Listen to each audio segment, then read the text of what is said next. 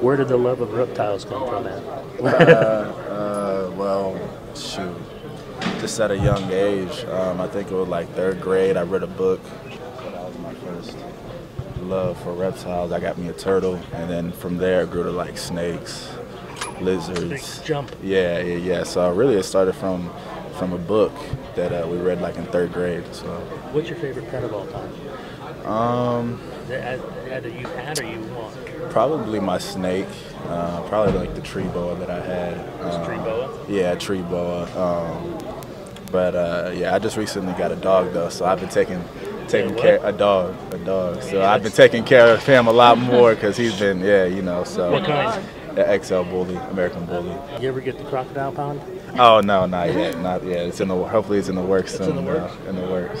Uh, take me through your interception. What was, Um. What was the play? Um, yeah, so really I was just trying to read the quarterback's eyes, um, you know, staying on top, um, going with the flow. Um, and as soon as, uh, as, soon as, soon as I saw him break out uh, the pocket, um, I was mirroring him, and then um, he just, you know, overthrew the ball, and I was right there to, to grab it. So What about TCU interested you the most? I must say, really just, yeah, really just the uh, the small town feel kind of like it reminded me of home. Um, but it was also just big time football, you know, big time atmosphere in that in that aspect. Um, and then I just love, you know, what Coach P brought to the table. I love co- what Coach G brought to the table. Um, just really good mentors of, of how they coach uh, football, and then just you know just how to be a man and handle your business. So Right. yeah. Have you uh, other off-field interests besides the reptiles? Like, what do you do? Man, um, so I like I just started picking up golfing.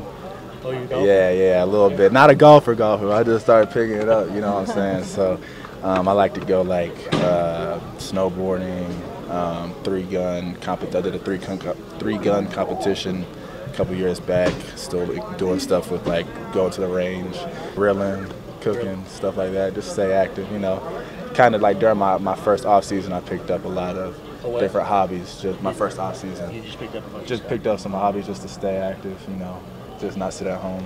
Ever bitten or scared of one of the animals?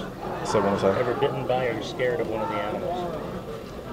Uh, my actually my turtle, my the first turtle I got bit me, and that was the first time I ever got bit by. I think my first and last time. None of my other animals bit me, but that one hurt. That one because it, it has a beak on it. You know what I'm saying? So it kind of just boom. It was really quick, so it got me, and it hung on. So like I I had my hand down, it hung on. I could let it go, just just hang. So I had to I had to pull it off, and yeah, it was not it was not pretty. Never So, any of the snakes? You walk No. around with snakes your whole life? Yeah, yeah, yeah. No, they they don't have it bit me. What have you learned most about the NFL being with the Raiders? What have you learned most about Um, man, that you know, it's a business. Um, you know, you just got to be on top of your game every second. You know, meeting rooms, practice, games, uh, just how you carry yourself. Um, you know, like I said, it's, it's, it's a business, and you got to treat it as such. And um, but still, find like find time to have fun. You know, enjoy the guys, enjoy the moments that you have, and um, because sometimes you know they don't last long, or you might be somewhere else. So. I know it's a long way away, but have you thought of post NFL plans?